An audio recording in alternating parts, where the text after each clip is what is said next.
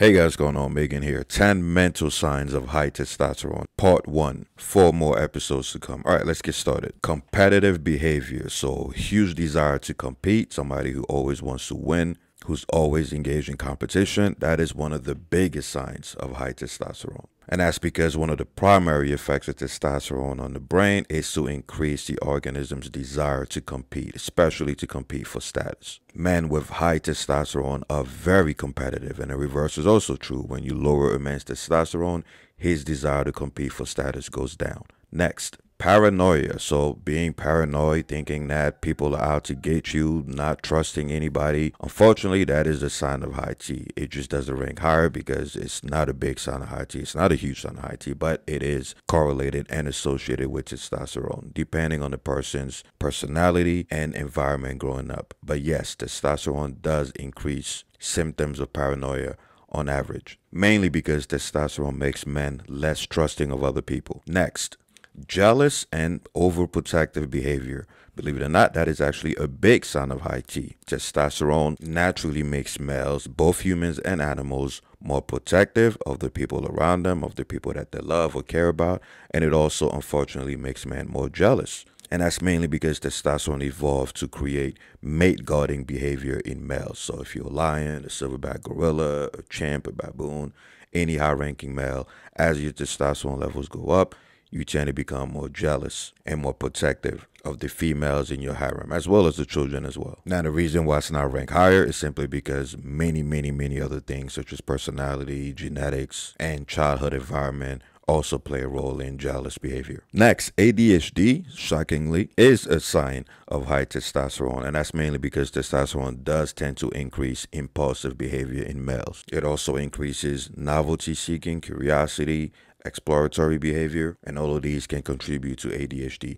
Now, the reason it's not ranked higher is simply because testosterone has a strange relationship with ADHD and focus. In some cases, it increases impulsive behavior and leads to ADHD symptoms, and in others, it actually increases focus and allows the male to hyper focus on certain things, right? So it's very tricky, it's a very complex relationship, and obviously, genetics also play a role. Next, submissive behavior. That is actually the opposite. That is a sign of low testosterone. When men's testosterone levels go up, they tend to be more rebellious, they tend to be more defiant.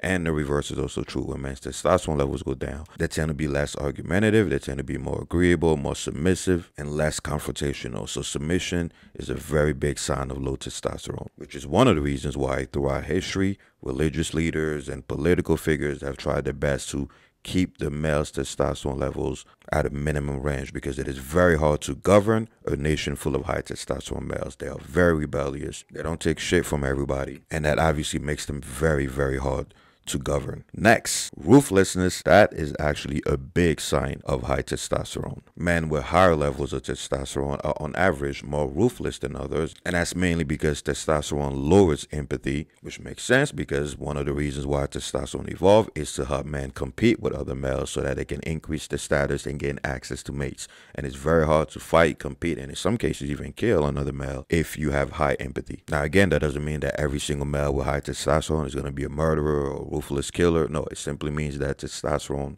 has an amplifying effect on ruthless behavior. So if you're already ruthless or you have tendencies towards being ruthless, testosterone is going to make that a lot worse. Next, aggression. That is a huge sign of high testosterone, and that is mainly because testosterone increases your desire to seek status. And in most societies, most cultures, and also throughout male evolution, one of the number one ways to attain status was simply by being aggressive, mainly through combat. Fast forward to today, and testosterone still has that effect on men. So again, testosterone increases aggressive behavior, but mainly when that aggressive behavior is linked to the acquisition of power and status. There's also a genetic component and an environmental component, meaning if the person was already naturally inclined to being aggressive, then when his testosterone levels go up, that's going to amplify that effect and make him even more aggressive than before.